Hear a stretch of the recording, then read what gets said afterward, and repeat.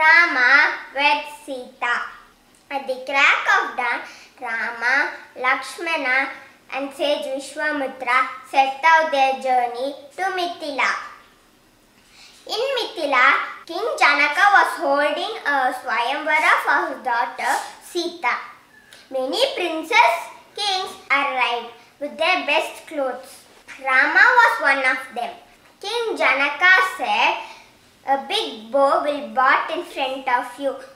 Whoever will lift this bow will marry my beloved Sita. A big bow was brought in an eight-wheel cart before everyone.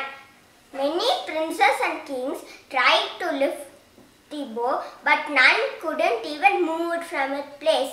After seeking permission from King Janaka and sage Vishwamitra, Rama went and took the bow effortlessly in his hand. But when swinging it, the bow broke into pieces. King Janaka said, Rama will marry my beloved Sita. Rama placed a garland around Sita's neck and they got married. A letter was sent to King Dasharatha that Rama was married to Sita. King Dasharatha was happy to hear the news and set out Mithila with his three wives.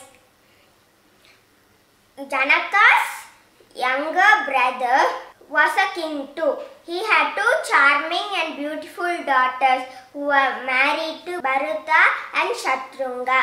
Sita's younger sister was married to Lakshmana. The four sons got married at the same time.